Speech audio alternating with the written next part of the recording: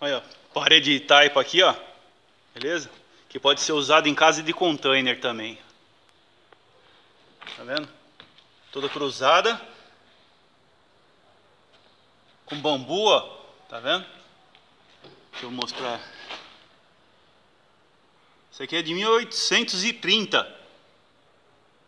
Se você gostou aí da ideia, pode usar em casa de container. Então dá um joinha aí, se inscreve no nosso canal aí, gente. No canal Verde na Mente aí, não usem drogas. Que Deus abençoe a todos, hein? Obrigado, gente. Valeu. Dá um joinha aí.